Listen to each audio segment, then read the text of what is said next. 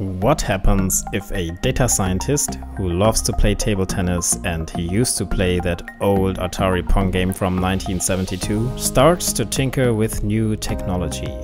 Well, this is the result. A virtual AI ping pong game. The game is written in Python and the most important component is the underlying machine learning model.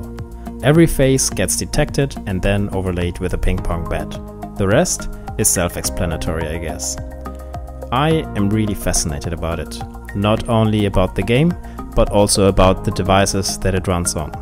It uses machine learning, so it must require big and expensive hardware, right? Nope.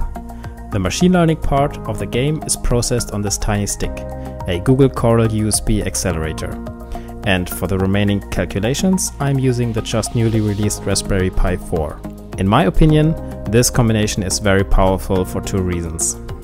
Firstly, there's a big community for Raspbian OS, the operating system that runs on all Raspberry Pis. So there are plenty of solutions for issues that one is facing, and furthermore, you don't always have to reinvent the wheel because there are many exciting projects one can take and extend.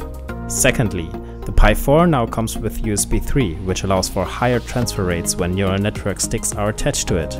All previous Pi generations were only equipped with USB 2 and that was a bottleneck. So what do you think about these devices and would you play the game? Which objects would you use to play it?